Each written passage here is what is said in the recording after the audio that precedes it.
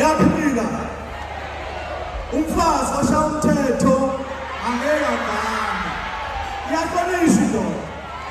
noma ibhema noma iphuza noma ingabuyi iyahlonishwa indoda bafowethu igama lami nothobala wamnema imeneja kagatsheni ugatsheni aphumelanga kuza ngenxa yomsebenzi kodwa ke siyabonga kakhulu ubaba ugoba ugatsheni uthembisa umlayezo ubaba ngisho ukuthi ungagivaphi keep on pressing on inhle lento le singaba sophongolo kwelentumbane kwazulu natali sifumele uphongolo la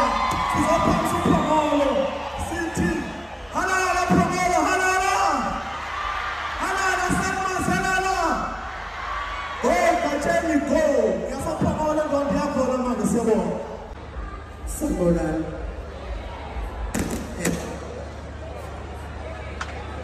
uduma kahle akekho namhlanje umsebenzi umbambile kodwa ungithume la ukuthi uzomlandela